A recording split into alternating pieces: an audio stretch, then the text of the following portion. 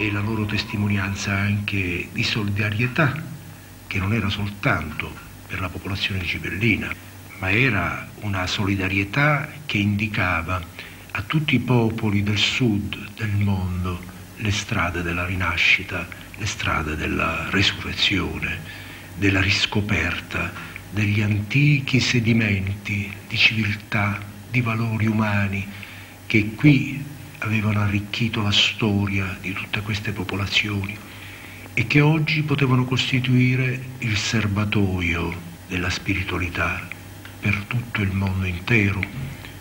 per le crisi profonde che travagliano le civiltà occidentali, le civiltà industrializzate,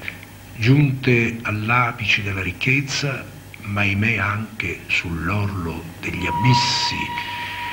del nulla, della morte, della bomba atomica,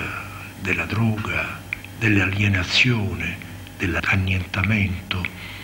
Solo il sud del mondo, con la riscoperta dei suoi antichi valori, di riproporre l'uomo